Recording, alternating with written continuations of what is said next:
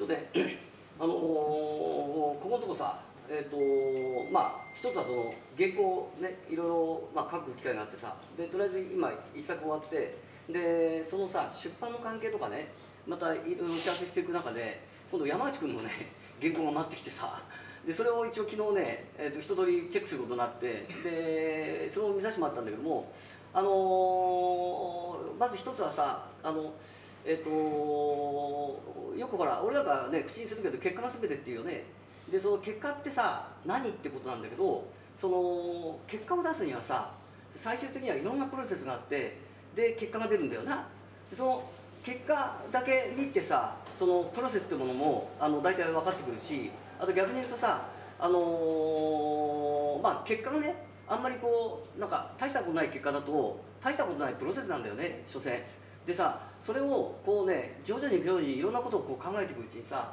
俺そういえばね最近ねあのプロセスって面白いなと思っていてで昔はさなんかねあの結果を求める仕事ばっかりずっとしてるわけだな。で会社もそうですよ。あの結果を求めるのが、まあ、仕事だから結果求めるじゃん。だけど簡単なことってさ簡単な結果が出るよね。で難しいことってさ要するに簡単に結果出ないじゃん。で結果が全てっていうとあのあんまりね短絡的に結果が全てっていうことを言うことによって短絡的な人ばっかりできちゃう可能性も高いなと思ってるわけ。であの、えっと、今三崎のね仕事をしてて昨日なんかあの静岡のお客さんがねそのうちのプロジェクトをねえーねあの見たいんだ、ね、またあの要するにさ今度三崎にね投資したいんだなんていう話が昨日来てさで昨日夜打ち合わせたんだけど、まあ、ちょっと難しいよねっていう最終的にはそうなんだけどっていうのは簡単に結果出ないから。ね。であのね桜田ファミリアってさ今ねあの、えっと、ずっとさ長年の間完成しない建物あるよね。あれさみんなボランティアで仕事してんだよね。で金の問題じゃないし名声の問題でもないわけ。ただそのプロセスに参加してるっていうことが彼らを支えてるだけなんだよね。だからあの損とか得とかじゃないんですよ。その桜田ファミリアを作ることであの要するに自分たちが参画している中であの自分の人生を見直すっていう、ね、人たちが多いわけだね。で今さあのーずっとね、まあ、この会社始めていろんなことやってるんだけどもあのいろんな結果が出てるんだけどまだまだ僕ねあの浅はかだなと思ってるわけ。あのーっていうのはちょっと短絡的なね要するに、えーまあ、プロセスを要するに繰り返しやってきたのともう一つはさ長期的なビジョンで考えた時にこの会社ってどういうふうな方向性を持っていくのっていう時に今このプロセスすごい楽しみにしてるわけ。っていうのはあのー例えばさまあ分かりやすくとオンサイトマネジメントがそうだ。あ一番最初やったのね南山建築工房ですよ。で要するにあのーねコンサルの中で絶対建築が必要だよね。っていうことであのー建築のさ要するに、えープロセスをね踏んだわけ。ね、でだけどさあのこの結果が出るにはね時間がかかるね。で時間がかかるけど要するに短絡的なその目標を設定して目的求めちゃってねあの最初のうちは失敗しちゃったね。でもさ今はさもっと長期ビジョンで考えた時に絶対必要な部署ですよねってこと。でそれとあとリフォームもそうだね。要するに、あのー他の会社は要するにリフォームなんてさ別に他業者に任せりゃいいじゃん、ね、あの要するに、えーね、あのそんなの人任せにして手数料もらえばいいじゃんっていう話なんだけどそれってね俺結果は出るけど短絡的すぎると思うわけ。でそれの延長線でいくと今度オンサイトマネジメントやってるね。でこれもあのオンサイトマネジメントっていうものが要するに欧米とかさ、まあ、あの世界的にさ必要とされてる職業なんだけど日本では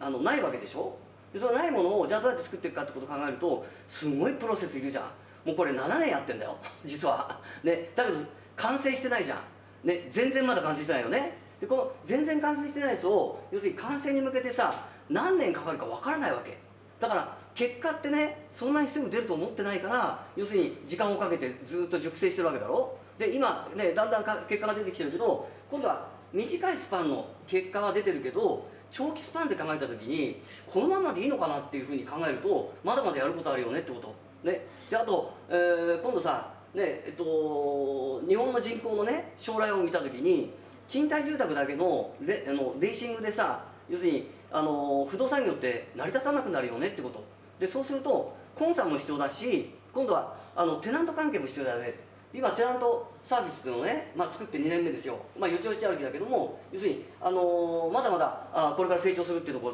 ろを作り込んでるわね。でさこれってずっと同時並行していろんなものが動いてきてるよね。でも総合的に見るとあの振り返ってみるとねすごい素晴らしい結果が出てるわけ。で今ここの部分で結果が出たと思ったら大間違いだから。ね要するに結構あのーなんていうかなあのー結果が出てると思ってるのか逆に言うと要するに、まあ、これでいいと思ってるのか、あのいろんな人がいるわね。でもさそれはねそこでいいって思ったらこの人の能力ってそこで終わっちゃうってこと、ね、あともう一つはあの、えっと、プロセスを、ね、やりながら結果が出せない人っていうのは結局プロセスもダメだってこと。これを気が付かなきゃダメ。だから、あの大事なことっていうのはね要するに、あのね、結果を出さなきゃいけないに決まってるわけ。でもね結果が出ないことを人のせいにしたり環境のせいにしたり会社のせいにしたり上司のせいにしたりダメですよこれ。でそれはね何かって言ったら自分が出せないんだから。それプロセスが間違えてるわけ。だから本当はもっとプロセスを、ね、要するに考えながらもしくは楽しみながらやらなきゃダメってこと。でね最近僕あのあのーまあみんな知ってるかどうかわかんないけど原稿ってさあの大体ね8万文字いかないとね一冊にならないんですよ。で 山内君のごまままだ5万字だからね。それ俺とこ回ってくると。ああとこいつ3万字俺にかけって言ってるのかなってさ。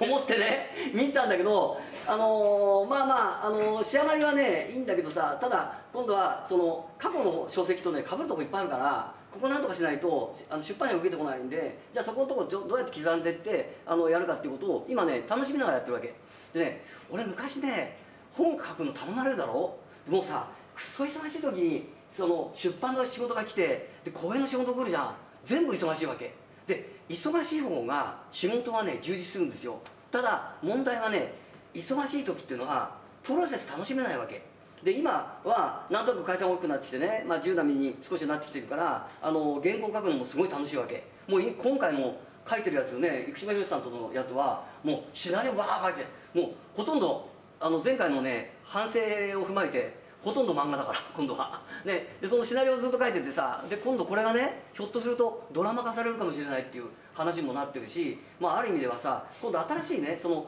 えっと、プロセスが結果になるっていう、ね、要するにあの結果を求めてるんだけども要するにプロセス自体が結果になっちゃうっていう。これねあの何が大事かっていうと仕事を楽しんでできるかできないかってことですよ。要するに人に言われたからやってる。それはプロセスも楽しめないし結果も出せないですよ。で結果出せないのはなんか自分のせいと思ってない人がいるわけ。あの人はね何でもそうなんだけど要するに無責任な人は無責任な対応をするよね。無責任な人って実はねプロセスがないんですよ。要するにあの自分自身のその、えっと、プロセスに対する志っていうものがないからプロセスが楽しめないから結果も楽しめないわけ。だからぜひねちょっとあのね今いろんな授業をやってるね。で結果が出ないっていうのはさ何がかが間違えてるから。もう一つは、ね、要するにあのそれの、ね、要するに本意でないっていう、ね、ことであれば本意じゃないんであればそれを本意にしなきゃダメってこと。それはね,、あのねだんだんだんだんこう仕事していく中でねあの僕はね重要と思うわけ。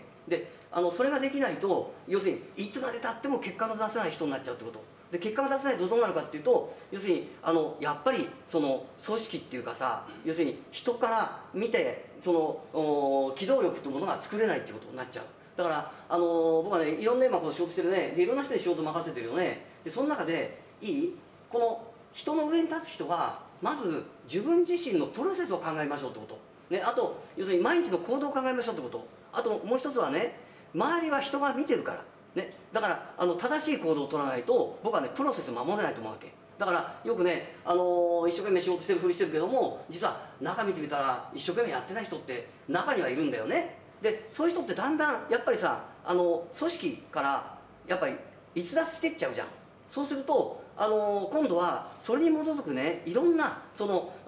ロスが出てきちゃう。ロスって何かっていうとせっかく一生懸命頑張ってる人たちが要するにやる気がなくなっちゃう、ね、一生懸命やろうとした人たちが要するに信頼関係なくなっちゃう。で一生懸命やろうとした人たちが要するに希望が持てなくなっちゃう。僕はねあの生きる希望がなくなることほど一番辛いことないと思いますよ。だから仕事の中で要するに希望を持って仕事ができるような要するにことをするにはやっぱりプロセス一つ一つを作り上げていって結果を出すってことだから。ね、まあ、ぜひあのねえっと結果を求めるねあの毎日毎日ねあるからそれはね毎日毎日努力しなかったら結果は出ないから。ね、まあ、ぜひ結果を出すようにねしてください。お願いします。以上。